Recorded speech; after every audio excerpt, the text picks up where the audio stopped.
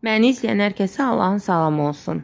Bu günləri mən sizlərlə ikinci menyumu paylaşmaq istəyirəm. İkinci menyumda ciyər, kartof qızartması, küftə və qarğıdalı düyü salat var. Birinci menyuya baxmaq istəsəniz videonun altındakı linkə daxil ola bilərsiniz. Videoya keçməmişdən öncə əgər videonu bəyənsəniz, bəyəndim düyməsini basaraq kanalıma dəstək ola bilərsiniz.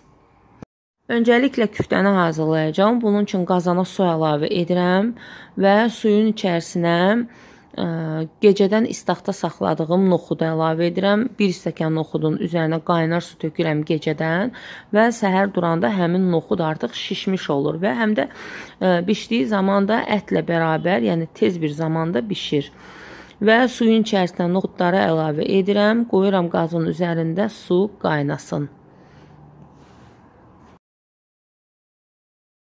Su qaynana düşdükdən sonra suya duz əlavə edirəm. Suya mütləq duz əlavə etmək lazımdır, yoxsa küftə açıla bilər suda. Və biraz da zövqə görə sarı kök əlavə edirəm. Mən küftələri öncədən yəni hazırlayıb dondurucuda saxlayıram və lazım olduqda bu cür istifadə edirəm. Küftənin içərisinə isə ətə biraz düyü, sarı kök, duz, istiot əlavə edirəm və küftələri tuturam. Bir başqa videoda inşallah e, necə tuturam, necə dondurucuda saxlayıram, onu geniş bir şəkildə göstərərəm. Və buzluqda saxlayıram. Küftələri lazım olduqda da əlimin altında tez ə, e, yəni bişirirəm. Və ə, su qap qapağı açıq vəziyyətdə ə, küftə qaynamalıdır ki, üzərinə çıxan kəfi yığmaq olsun. Və gördüyünüz kimi kütələrin üzərinə kəfi yığıldı. Həmin bu kəfi mütləq yığmaq lazımdır, yoxsa e, bişdikdən sonra suyu çox bulanıq olacaq küftənin. Ona görə mütləq kəf yığılmalıdır. Kəfini yığdıqdan sonra qapağını bağlayıram və qapağı bağlı şəkildə 10 dəqiqə bişirirəm. 10 dəqiqədən sonra qazanın qapağını açıram və artıq ətin içərisindəki düyülərin e, biraz e, bişdiyini gör görsəniz, e, kartofları əlavə edə bilərsiniz. Mən kartofu küftənin içərisində doğramıram, bütöv-bütöv atıram və kartofla küftəni bir yerdə bişirirəm.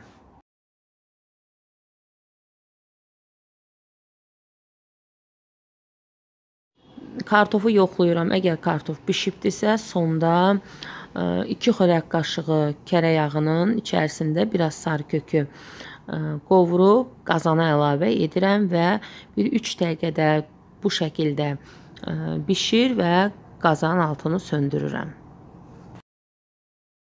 Əslində küftəni tam dəstgahı ilə hazırlamadım, çünki mən ə, tam dəstgahı ilə küftəni ətin suyunda hazırlayıram. Onu bir başqa videoda paylaşacağam sizlərlə.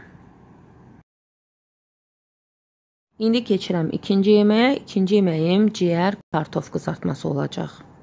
Öncəliklə qeyd edim ki, 1 kilo mal ciyərindən istifadə edəcəm. Bunun üçün ilk öncə ciyərin pərdəsini çıxardıram. Yəni ciyərin istənilən bir yerindən bıçaqla çətdiyiniz an, yəni yerdən pərdəsini rahatlıqla çıxarda bilərsiniz. Əgər pərdəni çıxartmasanız, ciyər həm rezin kimi olacaq, həm də çox bərk olacaq. Və ciyərin hər iki yüzünün pərdəsini çıxartdıqdan sonra istədiyiniz şəkildə doğraya bilərsiniz. Mən kubik-kubik doğrayıram. Bütün ciyəri doğradıqdan sonra suyun altında yaxşı-yaxşı yuyuram ki, ciyərin bütün qanı axıb getsin. Sonra aş süzənin üzərində saxlayıram ki, suyu tamamilə axsın. Ciyərin suyu süzülənə qədər mən 2 ədəd orta boy soğanı xırda-xırda doğrayıram.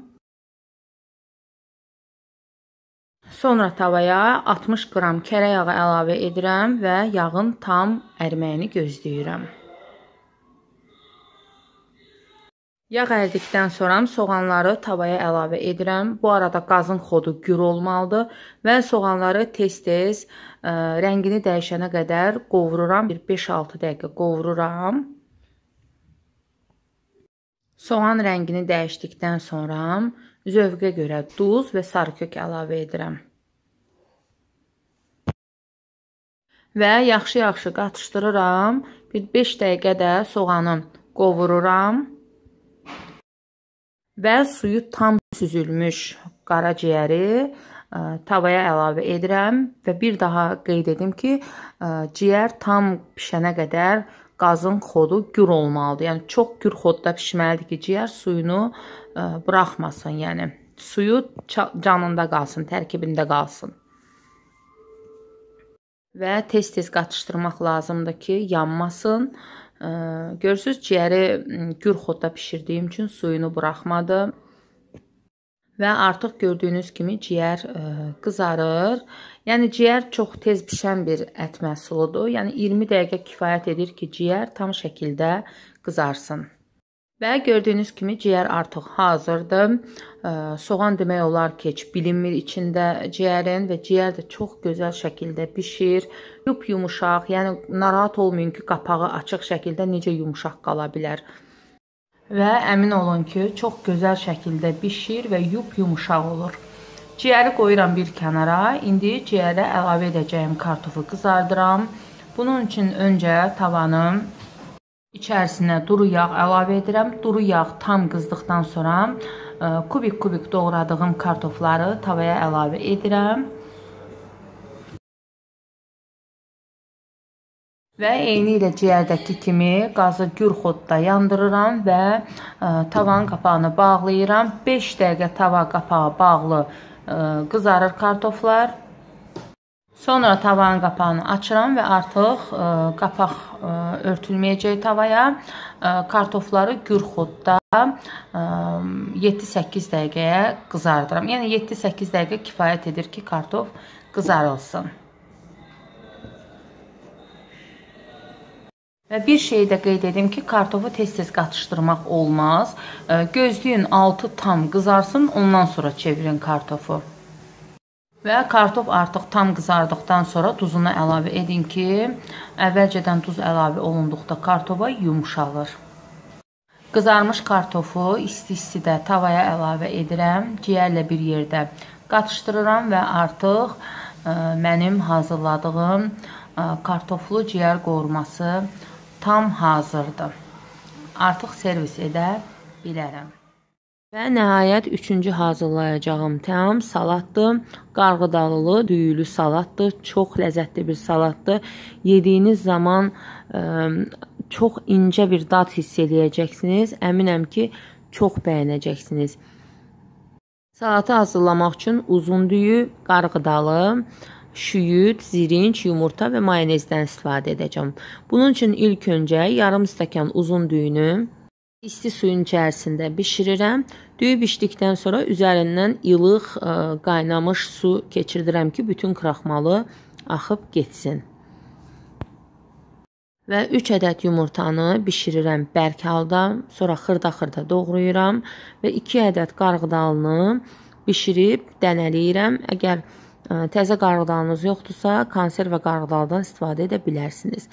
Və 3 xörək qaşığı zirincdən istifadə edəcəm və 1 tutam çüyüddən və 5 xörək qaşığı mayonezdən istifadə edəcəm. Hazırladığım, bişirdiyim ərzaqların hamısını qaba əlavə edirəm və ən sonda mayonezini vurub qatışdırıram. Duzu zövqə görə, istiotu zövqə görə əlavə edə bilərsiniz.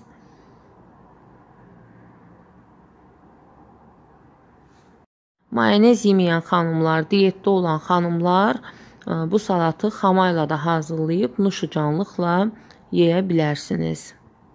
Və hazır olan salatı yaxşı olar ki, 1 saat soyuducuda saxlayasınız, ondan sonra servis edəsiniz. Bu qədər. Bu da mənim sizlər üçün təqdim etmək istədiyim növbəti menyumu idi. İnşallah ki, bəyənərsiniz. İnşallah ki, sizə xeyirli bir video olar. Bu günləri bu menyumda şirniyyat paylaşmadım, çünki dünən hazırladığım üçün şirniyyatı evdə şirniyyat var idi. İnşallah sabahları yeni e, menyumda yeni şirniyyat görə bilərsiniz. Bu qədər. Göz haqqınızı halal edin. Allah hər kəsin süfrəsini bol ruzu bərəkətli etsin. Heç kimin gözü, heç kimin qazanında qalmasın inşallah. Əgər kanalımı bəyənirsinizsə, abunə olmağı unutmayın. Hər gün yeni-yeni çıxan videolardan ilk siz xəbərdar olasınız. Əgər videonu bəyəndinizsə, kanalıma dəstək olmaq üçün bəyəndim düyməsini basa bilərsiniz. Şərhlərinizi gözləyirəm. Siz necə hazırlayırsınız, nələri məsləhət görürsünüz, şərhlərdə yaza bilərsiniz. Sağ olun, salamatla qalın.